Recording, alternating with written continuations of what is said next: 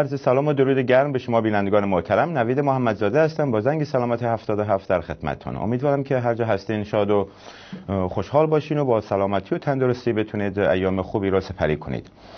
در این برنامه هم به مسائلی از جمله مسائل اخلاق حرفه‌ای می‌پردازیم. چرا که هم سوالات زیادی هست در این مورد و همین که ادامه بحث قبلی رو می‌خوایم تمامش بکنیم و امیدوارم که این برنامه هم بتونه مثمر ثمر واقع بشه و همکاران بتونند خدمات خوبی را به شما بیماران ارائه بدن.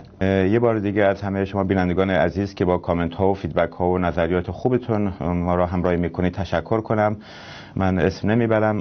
واقعا ممنونم از همتون و امیدوارم که با سعی و تلاش این برنامه روز به روز بهتر بشه و شما بتونید استفاده بهتری را ببرید. و همچنین اگه هم بیماران و هم همکاران رشته های مختلف پزشکی اگر کلیپ های کوتاهی دارید می‌تونید برای بنده بفرستید از طریق وبسایت و من اگر مسمر سمر باشن و فایده برای بینندگان داشته باشن که مطمئنم همینجور خواهد بود حتما اونا را در اینجا براتون پخش می‌کنم. چرا که از این هفته قراره همینجوری که قبلا هم عرض کردم یه سری تغییرات کوچک و شاید بزرگ در این برنامه بدیم و از این حالت یک نواختی که من همش صحبت بکنم در بیارم. سعی می‌کنم بیشتر به سوالای مریض ها توجه بشه و پاسخ داده بشه و مستقیم و غیر مستقیم با شما بینندگان ارتباط بیشتری داشته باشیم.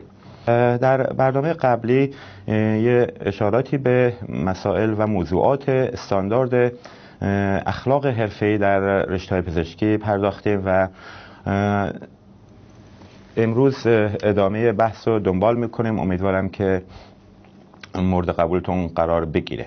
ببینید یک بار دیگه در اول برنامه اون چهار اصل طلایی استاندارد اخلاق حرفه‌ای یا اتیکال استاندارد را مرور می‌کنیم که اینا همونجوری که گفتم تو اکثر رشته های پزشکی مشابه هستند و اینا شامل یکی مسئولیت پذیری متخصص در قبال کارها و اقداماتی که انجام میده. دومی برخورد اخلاقی و از روی وجدان سومی ارائه خدمات سودمند و چهارمی تلاش در جهت پیشرفت و توسعه رشته است. حالا هر رشته که توش کار می‌کنه متخصص پزشکی. ببینید من اینو اینجوری برای شما شروع کنم که بحث امروز ما می‌خوایم ببینیم که ارائه و انجام این اخلاق حرفه در رشته پزشکی چه سود و زیانی برای مردم و بیمارها داره و چه سود و زیانی برای همکاران متخصص در رشته های مختلف پزشکی داره. خب همونجوری که می‌دونید اخلاق یه چیز خیلی خوبیه که هممون امیدوارم به حد امکان بتونیم از اون اخلاق خوب بهرهمند باشیم. ولی خب سری پیش اشاره کردم که اخلاق شخصی با اخلاق حرفه‌ای خیلی فرق می‌کنه و بحث ما کلا رو اخلاق حرفه‌ایه. خود بنده هم هزارا ایراد دارم ولی وقتی با مریض برخورد می‌کنم وقتی مریض رو درمان می‌کنم وقتی مریض رو ارزیابی می‌کنم وقتی مریض رو مرخص می‌کنم وقتی مریض رو قبول می‌کنم و هزاران مسئله دیگه اینجا این اخلاق حرفه‌ای منه که کار می‌کنه و من نمی‌تونم بر مبنای احساسات و نظریات شخص خودم تصمیم ها را بگیرم. چرا که اگه اونجوری باشه به اینجا می‌رسیم که هر متخصصی در رشته پزشکی در ده ها شرایط مختلف در طی روز بنابر سلیقه احساس وظیفه و احساس شخصی خودش تصمیم بگیره و در اونجاست که مشکل پیدا می‌کنیم. خب در تمام کشورها اومدن برای اینکه این مشکلات رو کم بکنند و یک روال ساده و مشخصی برای همه وجود داشته باشه یک guideline ها و ethical standard ها و قوانین رو آوردن روی کاغذ نوشتن و به طور مشخص و دقیق همه مشکلات و و مسائلی که می‌تونه پیش بیاد و برای بیمار و برای متخصص به طور روشن مشخص کردن. در کشور ما هم تا که من اطلاع دارم برای خیلی از رشته ها این موضوع نوشته شده و هست و اداره نظام پزشکی با جدیت در این مورد داره کار می‌کنه. ولی خب متاسفانه خیلی از رشته ها هم هنوز این قواعد رو به طور مشخص و کامل ندارن. دلیلش هم خب هرچی هست من به دلیلش کاری ندارم. ولی یه نکته ای که مهمه اینه که ما باعث از اینجا شروع بکنیم. معمولا وقتی با همکاران یا افراد دیگه در داخل ایران حتی بیماران خیلی وقتا صحبت می‌کنیم همیشه این حرف رو میشنوی که اینجا ایران اینجا اینجوریه اینجا اینجوریه اینجا اینجوریه نمی‌تونیم ما درست بکنیم. نمیشه. و هزار یک دلیل دیگه. خب اینو منم می‌دونم همه می‌دونیم ایران مثل امریکا و انگلیس و استرالیا و کانادا نیست. هرچند در خیلی از مسائل شاید جلوترم باشه حتی در علم پزشکی در به عنوان مثال تعویز بافت های بدن یا جایگزین بافت های بدن مثل شش و قلب و ریه و کلیه و چشم و حتی یا در یه سری جرایی ها یا در یه سری موضوعات دیگه سلامت مثل نانو تکنولوژی و غیره خیلی پیشرفته هست و دلیلش هم وجود استعدادهای خیلی شکوفا و همت زیاد ما ایرانی است ولی متاسفانه خب اکثریت رو باید در نظر بگیریم. ما می‌بینیم سالها صدها دانش آموز ایرانی میرن المپیاد مختلف برنده میشن. ولی خب اون صد تا دانش آموزی بعدا میشن پزشک. به یه تعداد معدودی در اجتماع می‌تونن کمک بکنن یا اون نخبه های ما یا اون پزشکای خوب یا فیزیوتراپیست های خوب تعدادشون در اقلیت نباید باشه. ما باید رو اکثریت برنامه ریزی کنیم و بتونیم که از اکثریت استعدادهای جامعه نظام پزشکی بهترین استفاده رو بکنیم. یه مثال می‌زنم براتون. ببینید تو تمام کارها اخلاق حرفه‌ای خیلی مهم هست. حالا شما ماشین تو می‌بری پیش مکانیک اگه ایشون اخلاق حرفه‌ایش خوب باشه اولا ماشینتون رو در اسرع وقت تعمیر می‌کنه و همچنین بهترین قطعه رو میندازه و بهترین کار رو می‌کنه و کمترین پول یا حداقل پولی که لازمه رو می‌گیره. یا یه خونه می‌خوایم بسازید. اگه اخلاق حرفه‌ای مهندس و بنا و کارگرهای اون خوب رعایت بشه خب این خونه استاندارد بالایی خواهد داشت. ولی تو یه سری رشته ها یه سری قواعد حتی اگه نوشته شده هم نباشه مثل همین رشته مهندسی برفرض. یک سری اصول دیگه ای هست که بر مبنای اون ما می‌تونیم انتظاراتی داشته باشیم از این مهندس. و اون اصول ریاضی و مسائل اینجوریه که برفرض یک مهندس حد چند که استاندارد بالای خوبی هم از نظر اخلاق حرفه‌ای نداشته باشه ولی به جایش که ببینه به جای آهن 20 آهن 14 گذاشته شده خب یک کاری بالاخره انجام میده و یه فکتی یک حقیقتی جلوی چشمش هست که می‌بینه به جای آهن 20 آهن 14 گذاشته شده. ولی تو پزشکی اینجوری نیست. تو رشته پزشکی اون شخص متخصصی که تصمیم می‌گیره اینجا آهن 14 لازمه یا آهن 20 اون دکتر جراحی که تصمیم می‌گیره الان اینو مریض رو جراحی بکنه یا سه هفته دیگه یا چهار ماه دیگه یا اصلا جراحی نکنه. اون ارتوپده که تصمیم می‌گیره این زانو باعث الان تعویض بشه زانوی مصنوعی بذاریم یا نه. اون فیزیوتراپیستی که تصمیم می‌گیره این بیمار رو درمان بکنه یا نکنه و یا چقدر درمان بکنه. اون کاردرمانی که تصمیم می‌گیره که آیا این مریضی که استروک داره هنوز میشه به یک نتایجی دست یافت در فعالیت های روزمره و کارهای روزمرهش با ادامه درمانش؟ و اون معمور آمبولانسی که تصمیم می‌گیره این مریض رو الان باید ریسسنیت بکنه ماساژ قلبی اینا بده تنفس مصنوعی بده یا نه اکسیژن وصل کنه یا اصلا ببره بیمارستان یا نبره بیمارستان. پس ببینید فرق اصلی رشته های پزشکی با رشته های دیگه در اینجاست. که وجود و ارائه و انجام این اخلاق حرفه‌ای بر مبنای تصمیم شخصه و اون شخص هم چجوری تصمیم می‌گیره در همه این مواقع؟ یکی بر مبنای علمش و دیگری بر مبنای اون استانداردها و قوانینی که بهش یاد داده شده. پس با این مثال امیدوارم روشن شده باشه که جایگاه اخلاق حرفه‌ای در رشته پزشکی چقدر زیاده. و متاسفانه مردم ما هم با این بحث آشنایی زیادی ندارن. اگه به عنوان مثال در جریان فوت مرحوم کارگردان خوبمون جناب کیارستمی که رویشون شاد باشه. جامعه ما در یه حدی از استاندارد اخلاق حرفه‌ای آگاهی داشت و همکاران پزشک ما هم همینجوری بدون شک اینقدر هاشی ها با وجود نمی اومد من بدون که کسی را بدون اطلاعات دقیق چون اینقدر اخبار متفاوت اومد بیرون که راستش من شخصا نمی‌دونم کی راست میگه کی راست نمیگه. ولی قصدم از این مثال اینه که اگه اخلاق حرفه‌ای میگم هستش تو نظام پزشکی. من در جریانم انجام میشه. خیلی از همکاران پزشک برای سه ماه شش ماه از کار محروم شدن.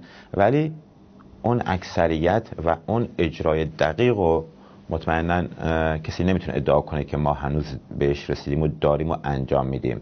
به همین دلیل اگه این در یه حدی از استاندارد خوب بود نه روزنامه‌نگارا و مردم و افراد و اقوام می اومدن سری اون پزشک و مقصر بشناسن و و نه جامعه پزشکی می اومد دفاع بکنه و شروع کنه به این همه مسائل و درگیری ها که بین مردم و جامعه پزشکی در آن جریان پیش اومد.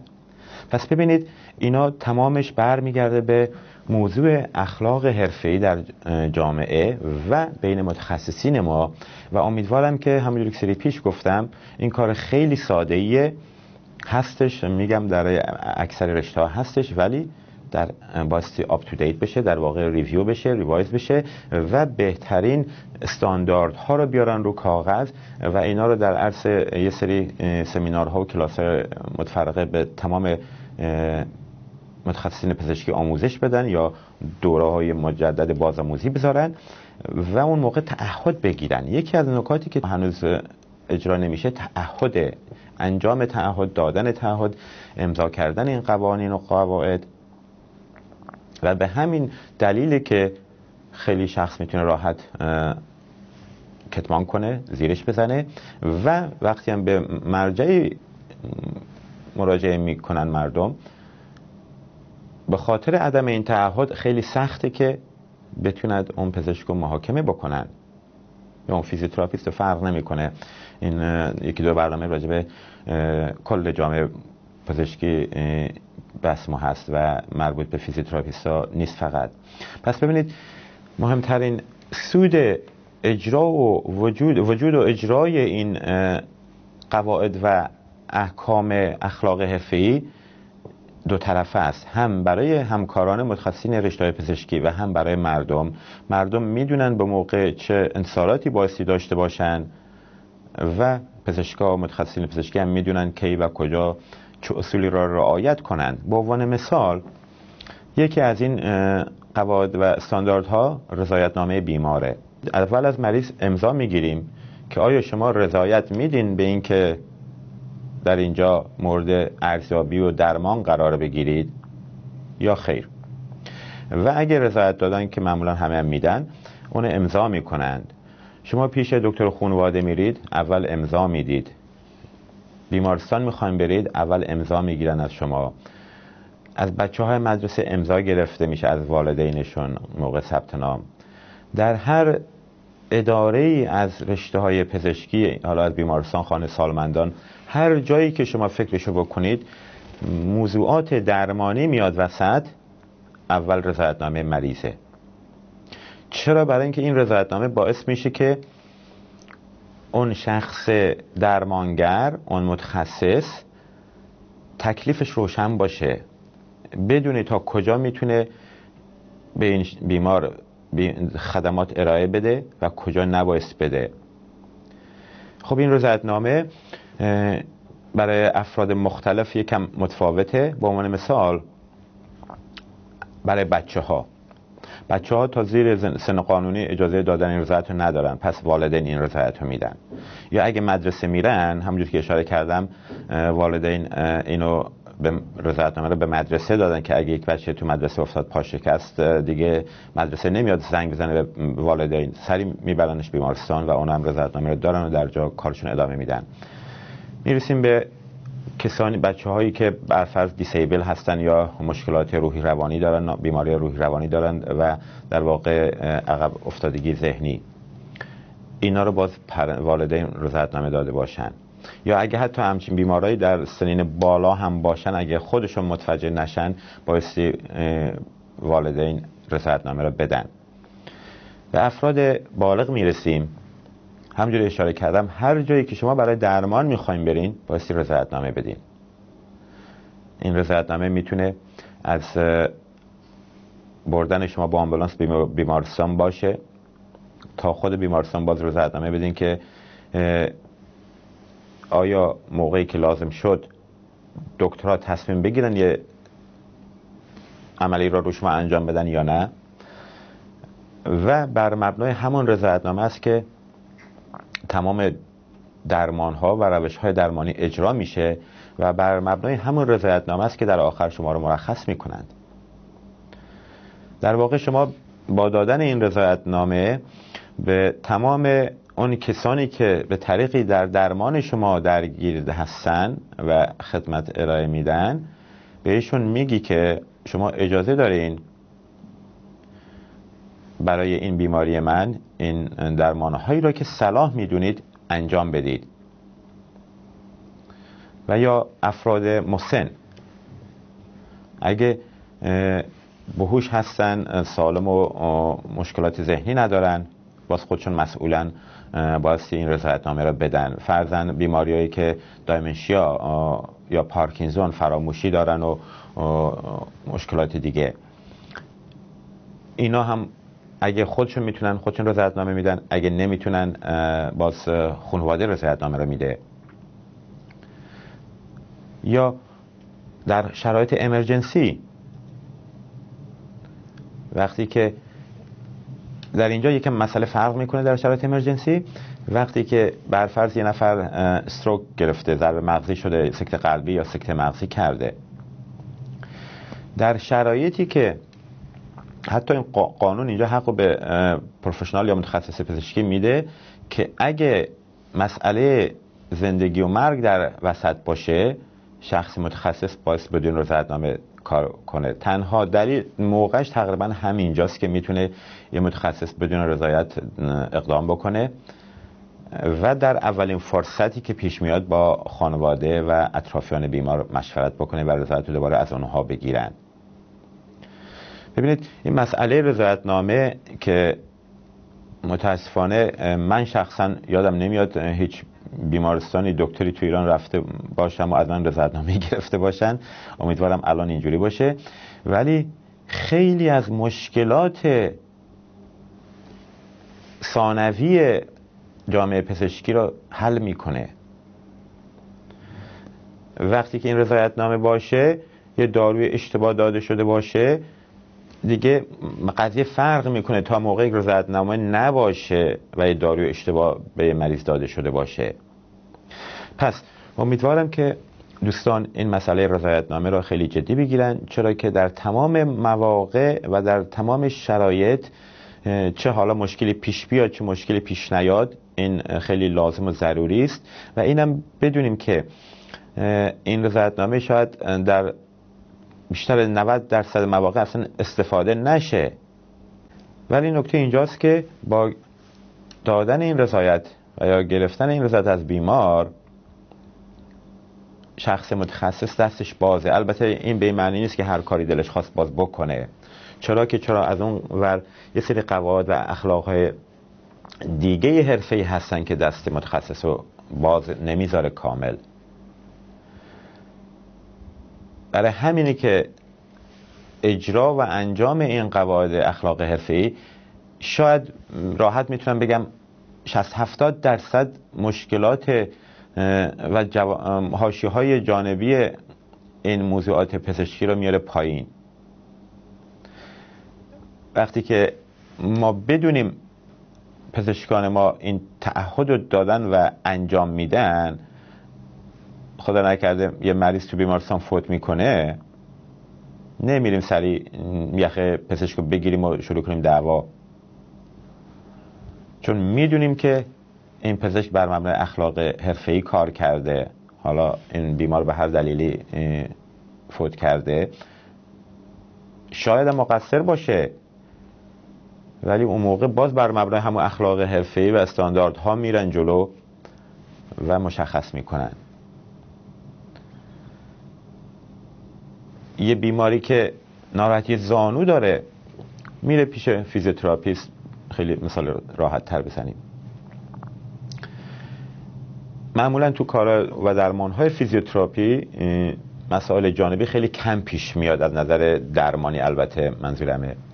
ولی فرض کنید بیمار با مینیسک زانو جراحت مفصل زانو میره پیش فیزیوتراپیست و در طی یه سری حرکات و درمان باعث میشه که این مینیسکش بیشتر جراحت پیدا بکنه.